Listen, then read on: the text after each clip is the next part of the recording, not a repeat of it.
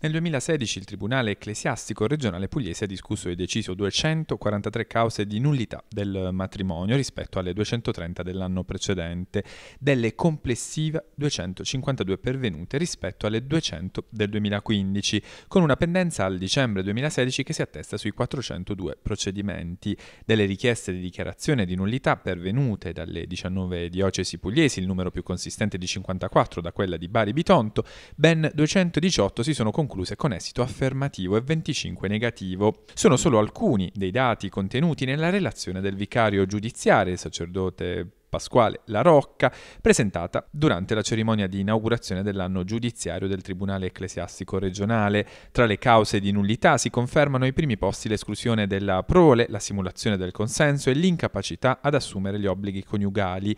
Nella relazione si sottolinea come l'applicazione della riforma del processo canonico per le cause di dichiarazione di nullità del matrimonio voluta da Papa Francesco ha consentito una giustizia più celere ed efficace con tempi processuali notevolmente ridotti ed un processo con rito ordinario evaso in meno di un anno.